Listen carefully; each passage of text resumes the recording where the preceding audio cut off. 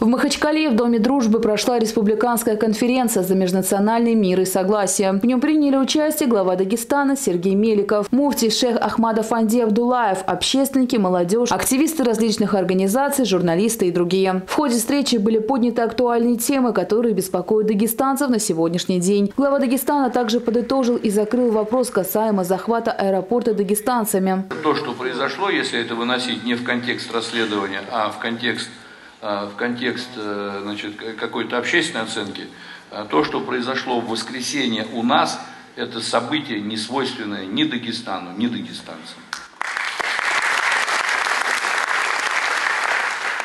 Забывать мы о них не имеем права.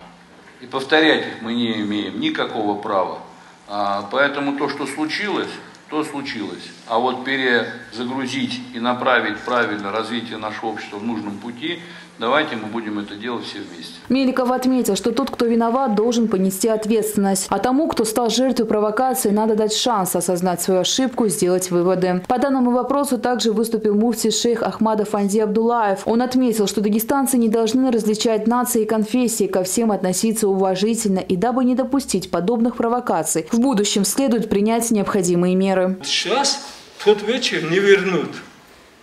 А дальше в следующий раз, чтобы их наказать не пришлось, как главу просят, чтобы в следующий раз заказали. Зачем их наказать? Чтобы в следующую ночь не повторилось. Надо сегодняшнее, вот это мое предложение, просьба, вот Делайте профилактическую работу. В завершении стороны пришли к выводу, что дагестанцы – мудрый народ, и провокаторам не удастся добиться своих целей.